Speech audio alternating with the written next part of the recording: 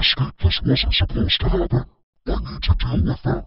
Okay, so what now? You're about to find out. Who the silly wick Nicky Dick Mary Wacky are you? Let's just say I'm your worst nightmare. Hello. Creator. Yep, it's me.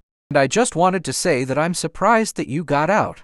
But that happiness is going to an end. Let's see if you can survive this. Guys, why is there a red circle around us?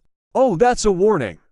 That means something is going to fall or happen to us. Anyway, stay away from the red circle.